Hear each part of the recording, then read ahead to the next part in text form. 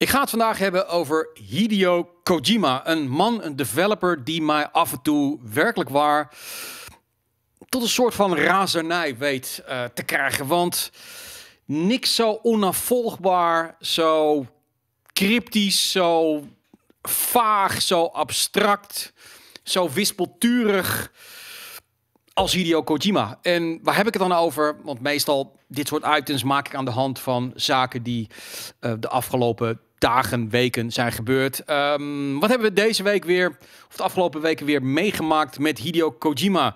Uh, opeens Norman Reedus, die tussen neus en lippen door zei dat hij bezig was met Dead Stranding 2. Terwijl PlayStation nog niet weet of ze wel met Dead Stranding 2 willen doorgaan. Um, ik zag een Hideo Kojima, een foto volgens mij, waarin hij in zijn studio zat. En de studio was een beetje groenig en had iets in zijn kontzak zitten dat dan iets was met zijn uh, een brief aan Xbox. Um, want ja, wie weet wil die wel iets met Xbox gaan doen of voor Xbox gaan doen die onafhankelijk is.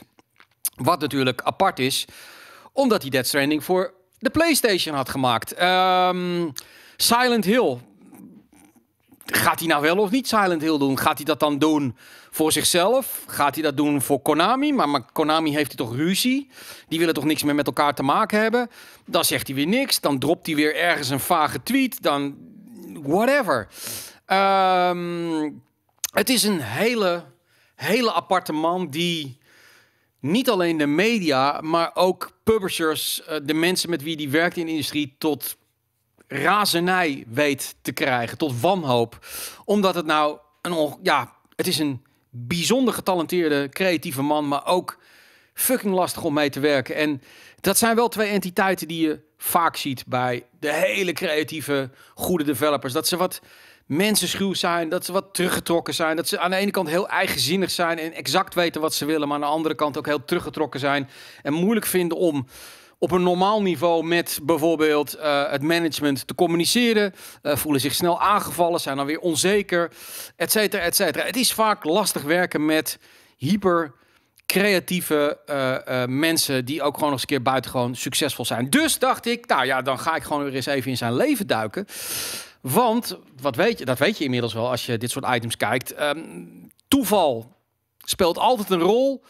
Uh, er is nooit een hele mooie strakke weg. Er zitten altijd rare kwinkslagen in. En vaak zijn toch een hoop dingen ook wel vanuit de jeugd te herleiden. Dus, Hideo Kojima, geboren in Setagaya, Tokio, op 24 augustus 1963.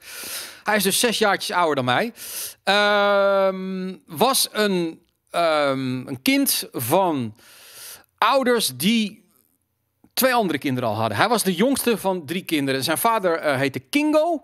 Kingo Kojima. En um, hij was belangrijk in zijn opvoeding, uh, want uh, hij was een apotheker. En die vaak aan het reizen was. En op een gegeven moment ook verhuisd is van Tokio, drukke stad, naar het wat rustiger Osaka. En Kojima praat niet graag over zijn verleden, praat sowieso niet graag over zijn privacy. Een waanzinnig voorbeeld van zijn privacy is dat uh, als je kijkt naar zijn thuissituatie, de ene website zegt hij heeft twee zonen en de andere website zegt dat hij geen kinderen heeft. Dus hij is heel geheimzinnig en uh, vind ik eigenlijk ook wel goed dat hij dat doet, want daar hebben we natuurlijk gewoon een drol mee te maken. Maar hij geeft wel aan in die aantal keren dat hij verteld heeft over zijn, zijn jeugd.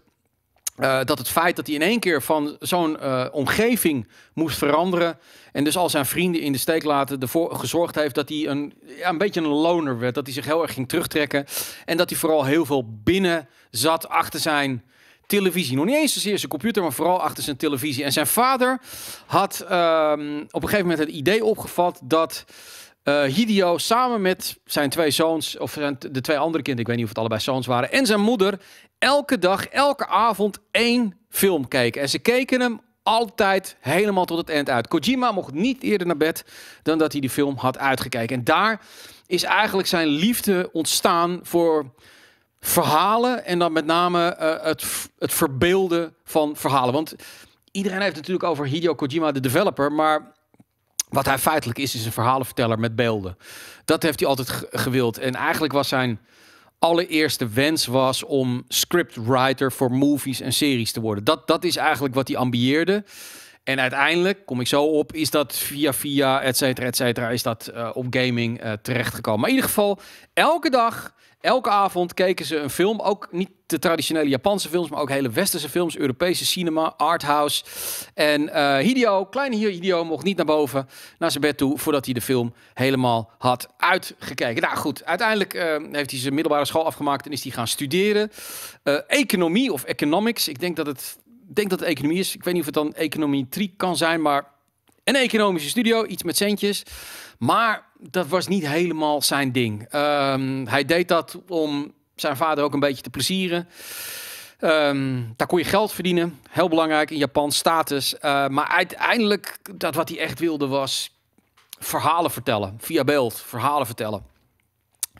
En hij begon al vrij snel uh, scripts te schrijven. Uh, eigenlijk werd hij overal een beetje afgewezen. En op een gegeven moment begon hij zich ook te interesseren voor de opkomende markt van de videogames. Um, want toen had hij iets van: oké, maar dan kan ik mijn idee voor een verhaal ook nog eens een keer interactief maken. Dus in plaats dat de, de, de kijker achteruit leunt en dat ervaart wat ik heb bedacht, kan ik de gamer ook nog een rol geven in het verhaal wat ik heb bedacht. Nou, dat was helemaal ideaal. Alleen het probleem was, uh, op het moment dat hij dit deed in de ja, jaren jaren 90, ja, zeg maar vijf, ja, ergens 1980, 1982. um, gaming was nog helemaal niet een ding in Japan. Sterker nog, er was ook geen woord in het Japans voor videogame developer. Dus uh, eigenlijk zei hij niet tegen zijn vrienden dat hij bezig was om videogames te maken. Dat dat zijn ambitie was, want die zouden hem alleen maar uitlachen. Um, en hij zei van, ik werk voor een financiële firma. Want hij was inmiddels wel um, op zoek naar een baan. En hij had die baan gevonden bij Konami. En Konami was een van de grotere game developers, zover die er waren. In Japan maakte veel dingen natuurlijk ook voor arcade. En de eerste ja, generatie computers, de MSX bijvoorbeeld. En hij uh, begon daar te werken. Hier zie je hem, de MSX. Ik bedoel, ik, het zegt maar helemaal niks, maar het is nog van fucking Philips ook, jongen. Het is gewoon nationale trots. Hij uh, maakte daar games op en hij heeft wat dingen gedaan uit zichzelf maar dat was niet heel erg succesvol allemaal. Um, want uh, die games, ze zijn er wel. Penguin Adventure bijvoorbeeld. Uh, ik weet niet eens of je dat nu hier ziet. Maar goed, hij heeft wat dingetjes gemaakt in het begin. Maar niet heel erg succesvol. Maar wel een hoop mensen die zagen binnen Konami van die... Hij heeft wel iets briljants in zijn hoofd. Hij snapt wel wat hij wil en hoe het werkt.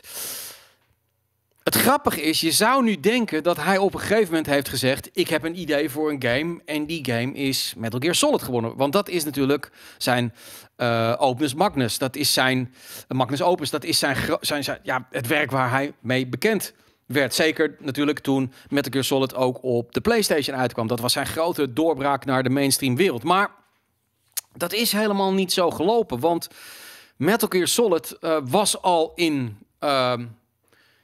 Ehm, in ontwikkeling. Alleen de makers van de game bij Konami kwamen er gewoon niet uit. Want de game werd gemaakt voor de MSX. Eh, de, uh, uiteindelijk de MSX 2. En um, Kojima wilde graag games maken op uh, de NES. Want de NES was het technisch betere systeem. Kon meer.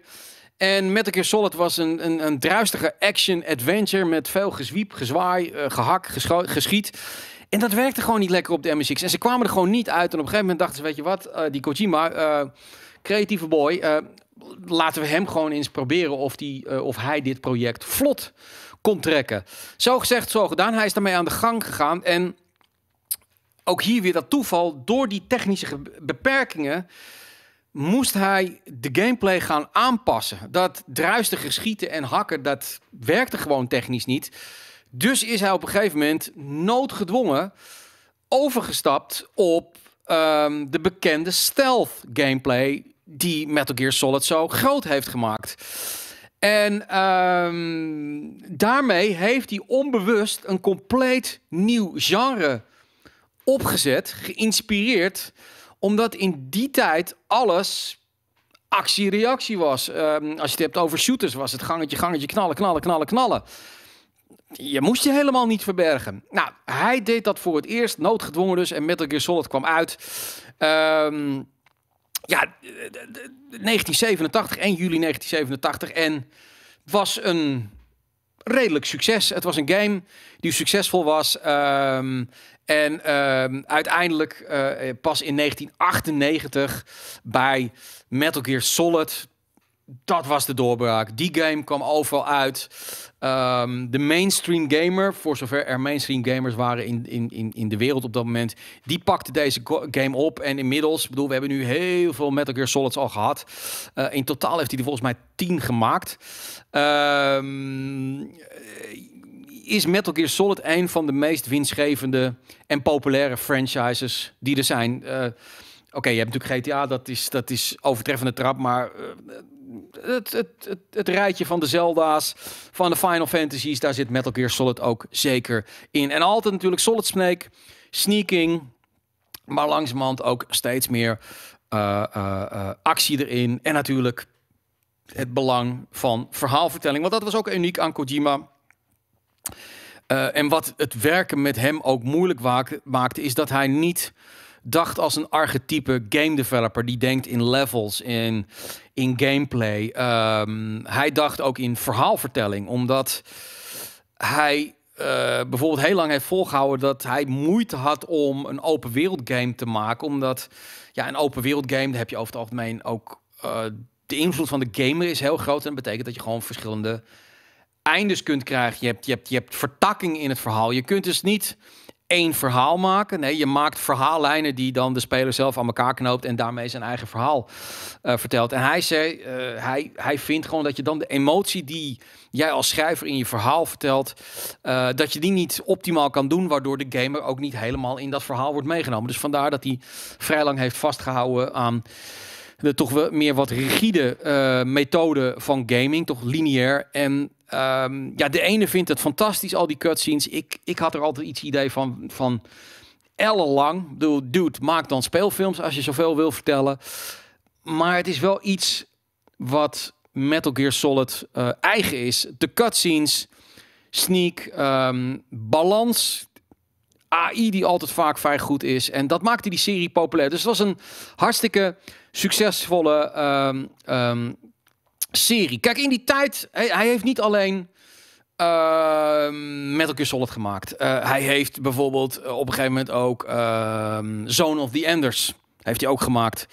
Ook een game waar hij uh, veel tijd in heeft gestoken, maar lang niet het succes heeft gehad van Metal Gear Solid. Maar daar zag je bij dat binnen Konami Kojima toch eigenlijk wel de grote ster was. Metal Gear Solid, dat bracht het geld binnen. Um, en uh, dat betekende ook dat hij meer zeggenschap. Hij was vice president, geloof ik, op een gegeven moment. En uiteindelijk aan het eind van zijn carrière bij uh, Konami was hij eigenlijk bepalend in alles wat ook maar een beetje met gaming te maken had. Dus niet alleen de games, maar ook de engine, de, de, de Fox engine die uh, hij gebruikte. Um, ja, die, die maakte hij allemaal en daar had hij allemaal um, invloed op. Zone of the Enders is een game. Uh, een andere game die wat minder bekend is, is de Boktai-serie. Ook daar heeft hij wat van gemaakt. Weer iets heel anders, maar altijd weer dit verhaal vertellen. dit is volgens mij meer voor de handheld gemaakt. Daar is hij dan meer producer. Um, en dat, dat soort dingen vond hij gewoon um, heel erg tof. Um, het was een verhaal vertellen. Hij heeft altijd gezegd ook dat, dat adventure games voor hem het ideale genre waren om games in te maken.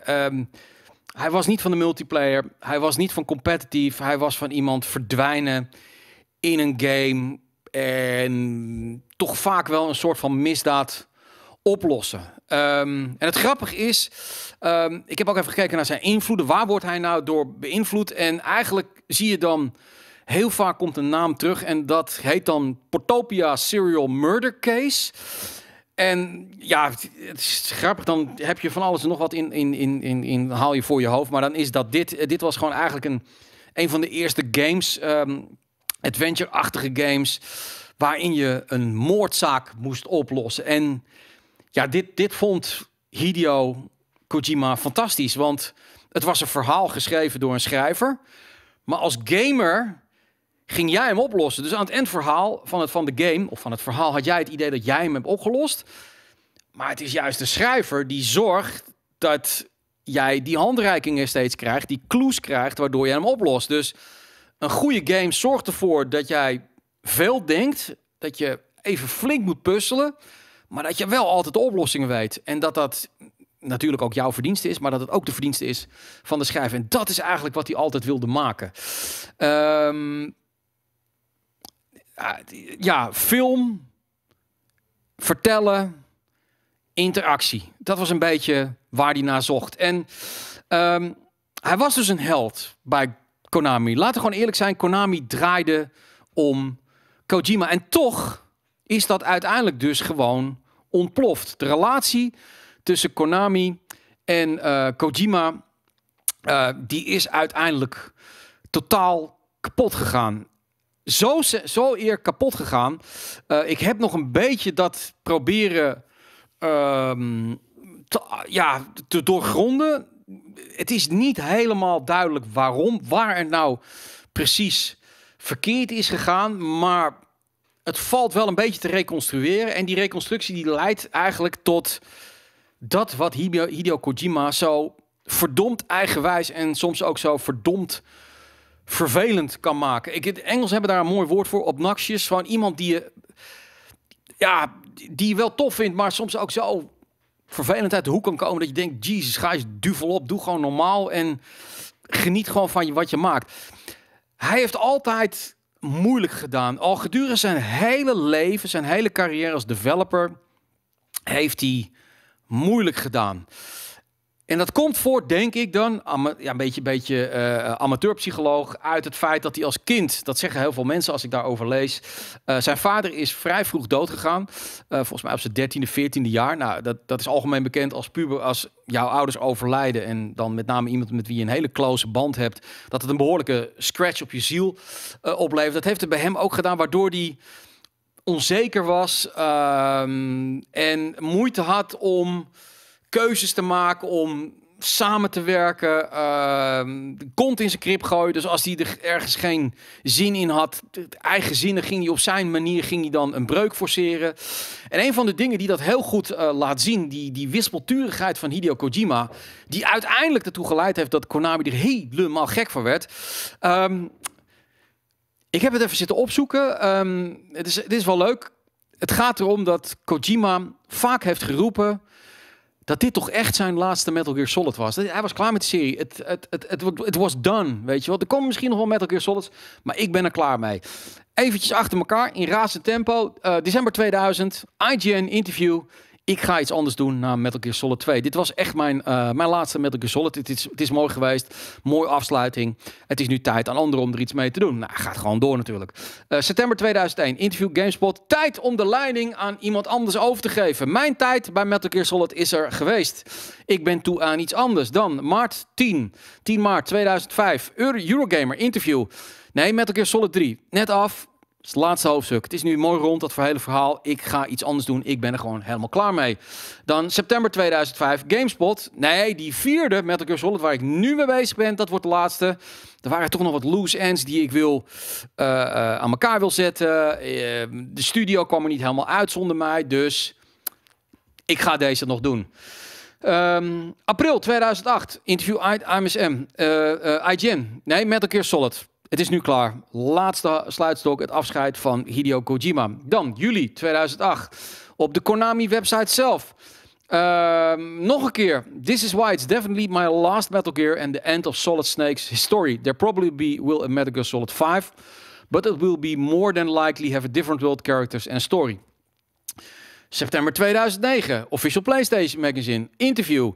Um, ik wil heel graag iets doen naast Metal Gear Solid. En mijn fans willen dat ook. Maar ik ben nu toch echt bezig met Metal Gear Solid 5 uh, eh, en Peace Walker. En, uh, maar als die af is, it's done. Juni 2014. Um, ehm, ja, Metal Gear Solid 5 volgens mij. Uh, ik, ben, ik ben de naam even kwijt. Uh, maar Echt jongens, dit is de laatste. Het is klaar, het is rond. Het hele verhaal is verteld. Uh, dit is de laatste waar ik op werk. En dan uh, in 2015, uh, ook bij IGN, met Final Fantasy 15 heb ik dan eindelijk de loop van de saga heb ik afgesloten. Ik ben er klaar mee. Ik ga er nooit, maar, nooit meer wat mee doen. Goed. Ga ik even op de stoel zitten van de baas van Konami. Een werkgever. Nee. Metal Gear Solid is de franchise die jou ontzettend veel geld in het laadje brengt. En we weten inmiddels dat de IP van Metal Gear Solid lag bij Konami. Die game die wordt gemaakt door Kojima. Zonder Kojima geen Metal Gear Solid. Dat snapte Konami ook wel. Maar deze man zei elke keer als er een nieuwe Metal Gear Solid uitkwam... Ja, het is toch echt de laatste geweest. Dus dat die Konami zat fucking hell de hele tijd in een soort van kramp. Totale angst van straks loopt die weg en dan zit ik dan met mijn flagship. Hoe ga ik dan de big money binnenhalen? En dat deed hij jaar in, jaar uit. Uh, in plaats dat hij dan gewoon communiceerde met de directie. Daar heeft hij altijd moeite mee gehad. Nee, dan ging hij weer gewoon een interviewtje doen. De laatste tijd zit hij veel op social media. Gooit hij weer een raar tweetje uit of een raar cryptisch uh, uh, foto. En die hele bedrijfsleiding zit weer in een totale kramp. Nou, Konami besloot op een gegeven moment te gaan herstructureren. Uh, de veranderingen in de gamesindustrie zijn razendsnel. Dat hoef ik je niet te vertellen. Als je de piepshow kijkt, dan weet je dat. Uh, en Konami wilde gewoon um, ja, daar klaar voor zijn. Die wilde kunnen reageren uh, als bedrijf, entertainmentbedrijf, op die veranderingen. En dat betekent dat ze niet meer afhankelijk wilden zijn van alleen maar die console games. Maar dat ze voornamelijk ook zich wilden richten op mobile games. Omdat dat dacht de leiding van, Kojima, uh, van Konami, um, dat zij daar, uh, dat daar het grote geld zou gaan zitten en dat uiteindelijk al die games zouden samenkomen uh, op de mobile, de cloud, weet ik allemaal wat. En ja, Kojima is niet een casual game voor mobiles developer. Het is iemand die verhalen vertelt. Die wil, die wil eigenzinnige, groot, meeslepende console verhalen vertellen of PC verhalen. Nou, dat botste dus. En um, dat is dan wel iets typisch Japans, um, waar in Amerika, er zijn rechtszaken geweest ongetwijfeld. Althans, er zijn natuurlijk deals gesloten wat nu wel mag en wat niet mag. Maar er is iets gigantisch fout gegaan daar. Waar je in Amerika of in het Westen gewoon uh, eigenlijk vrij snel gewoon, ja, de advocaat erbij en dan wordt er een beslissing genomen, dit en dat. En even goede vrienden. In Japan ja, eer speelt een gevoel. En Kojima heeft gewoon te vaak op de tenen gestaan van de bazen van Ko Konami. En dat doe je niet. Ook al ben je briljant, je doet het niet. Dus je ziet hier bijvoorbeeld een voorbeeld. Dat Kojima, uh, Kojima game, of de man die deze game gemaakt heeft, zonder deze man geen game, die werd gewoon eventjes plomfloren van het hoesje gehaald. Uh, hij is uit de credits gehaald. Um, Kojima Productions is gewoon, dat was op een gegeven moment een studio, weg het bestaat niet meer. Kojima bestaat gewoon niet meer voor Konami. En um, het, is bizar hoe dat dan gaat. Maar wat ik al zeg, het is heel uh, Japans om zoiets te doen. Um, ik heb nog wel wat voorbeeldjes van hoe Kojima te werk gaat. Ik wil even terug naar 2012. Um, dat was de Phantom Pain en dat waren de Spike Video Game Awards, daar werd deze trailer getoond. Um, dat was dus in de tijd ook van uh, nieuwe Metal Gear Solid. Gaat hij het nou wel doen of gaat hij het nou niet doen? En dit werd aangekondigd als een nieuwe game, een nieuwe IP van de Zweedse developer Moby Dick Studios. Moby Dick Studios. Niemand had er ooit van gehoord er werd, er werd niks duidelijk over gemaakt van wat is dit nou. En uiteindelijk, na een aantal weken uh, op den duur, werd duidelijk dat dit dus eigenlijk de teaser was voor de nieuwe Metal Gear Solid Phantom Pain. Dit is Kojima ten voeten uit. Uh, hij houdt van mysterie, hij houdt van vaagheid, hij houdt van teasen, hij houdt van prikkelen. Uh, ik, ik, ik kan me nog herinneren dat hij, ik weet niet of het vorig jaar was of het jaar daarvoor, had hij opeens een foto gepost van hemzelf met een Xbox Game Pass uh, uh, label van de persconferentie in zijn handen. Ja, daar ging iedereen ah, hij gaat, nou, hij gaat iets voor Xbox maken, exclusive, bla bla bla bla. Hij was daar gewoon om langs te gaan. Dat zegt hij dan niet. Nee, hij houdt het in het midden. Dat verhaal, dat dat disturben, dat, dat, dat iets creëren, dat vindt hij leuk. En ik vind het ook tof, maar dit is natuurlijk niet wat een geoliede PR-machine, uh, een traditionele spreadsheet mafia, uh, mafia, spreadsheet manager, graag wil. Die wil duidelijkheid. Die wil gewoon, er komt een nieuwe Metal Gear Solid aan.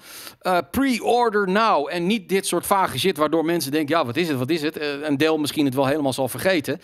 Maar dit was um, Kojima. Een ander voorbeeld wat ik hier wil bij aanhalen. Um, um, heb ik geen beeld van vrijgemaakt, maar iedereen kent hem, is natuurlijk die waanzinnige demo die opeens verscheen uh, van, en als het goed is heette die PT. Um, augustus 2014, uh, PT, dat was inderdaad een, um, ja, een horrorverhaal. En Hideo Kojima had altijd gezegd, hey, Silent Hill, dat, dat is een droom om een Silent Hill game te maken. En Silent Hill was, Koji, was Konami, dus de 1 en 1 is 2. Uh, eh, waanzinnige demo gemaakt. Um, een van de meest gespeelde demo's aller tijden. Ik vond hem ook fantastisch. Hij was fucking scary.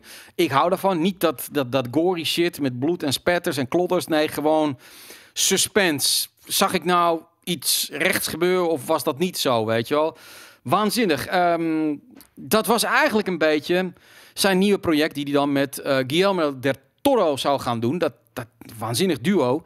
Alleen doordat Kojima en Konami beef kregen met elkaar, is dat project volledig geklapt. En wat doet Konami dan? De hele PT-demo is weg. Is nergens meer te vinden. Behalve dan op een console waar je hem niet hebt afgehaald. Dus als jij een PlayStation hebt met de PT-demo er nog op, dan kan je die voor, weet ik veel, 1000, 2000, 3000 dollar gewoon gaan verkopen. Zo legendarisch is die demo. Goed, uh, Kojima ging verder. Ging nu gelukkig dan zelf aan de slag.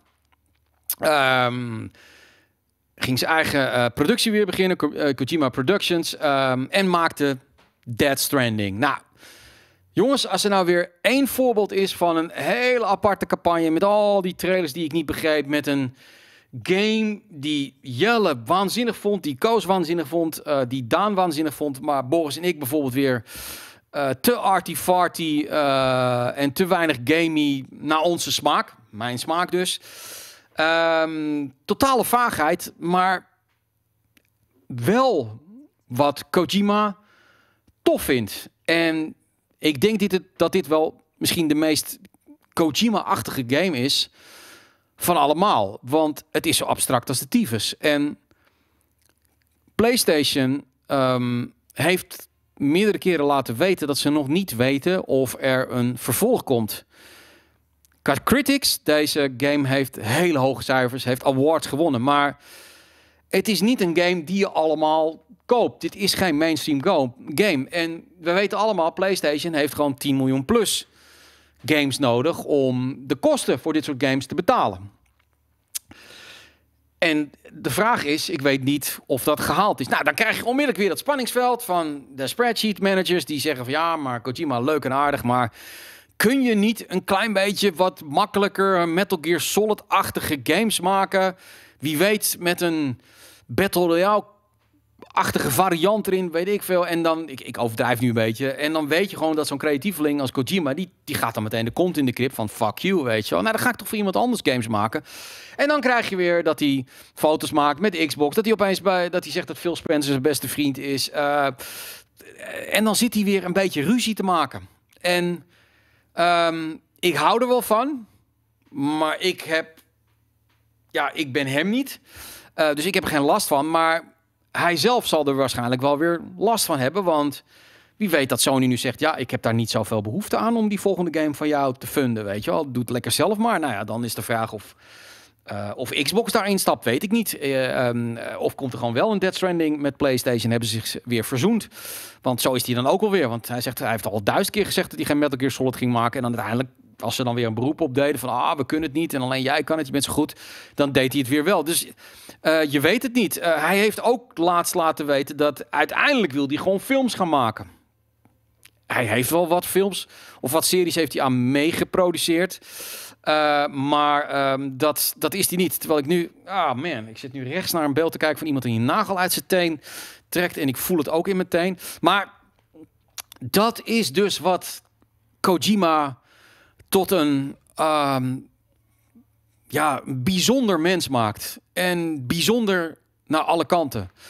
Uh, bijzonder leuk, maar ook bijzonder vervelend. Uh, bijzonder creatief, maar ook bijzonder wispelturig.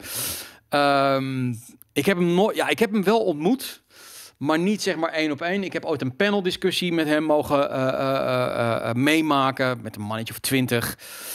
En daar zag je ook dat hij bepaalde vragen had hij niet echt behoefte aan. En op een gegeven moment ging die hele discussie, die had een bepaald intro. Ik weet ook niet eens meer wat het was, een, bepaalde topic. Ging hij de hele andere kant op. Dan heeft hij gewoon scheid aan alles, weet je wel. en dat is mooi. Maar als je als bedrijf ermee te maken hebt, heb je wel een probleem. Want deze man laat zich niet meer leiden. En um, het lullig is, hij heeft wel die spreadsheet managers nodig om zijn game te verkopen. Want um, ja, zonder Konami was Metal Gear Solid er ook niet geweest. Zo eerlijk is het. Dus je doet het samen. En op een of andere manier, dit soort mensen hebben altijd gewoon moeite om die samenwerking tot stand te laten komen. Wat logisch is, creatieveling versus iemand die gewoon draait om de centen. Dat, uh, dat stoot elkaar vaak af. De toekomst weet ik dus niet. Um, het is weer de typische Kojima-vaagheid. Um, Dead Stranding 2? Zou kunnen. Silent Hill? Whatever. Heeft het te maken met uh, Blue Box, met die game Abandoned? Is dat Kojima? Wat duizend mensen zeggen. Maar dat, ja, dat is niet zo. Het is gewoon in Nederland. Ja, het, het zou wel kunnen. Dat heeft hij natuurlijk al eerder geflikt met uh, de Zweedse studio Moby Dick, die er niet was. Zou kunnen. Uh, gaat hij een film maken? Zou ook kunnen. Ik weet het niet. Het enige wat ik weet is dat er een dag komt dat we het wel weten. Dat is de enige, dat is de enige zekerheid die je hebt met Kojima, is dat er een dag komt dat je zeker weet uh, wat hij wat mee bezig is. En tot die tijd um, zullen we het moeten doen met de hem zeer bekende uh, cryptische tweets, posts en um, af en toe dus een interview.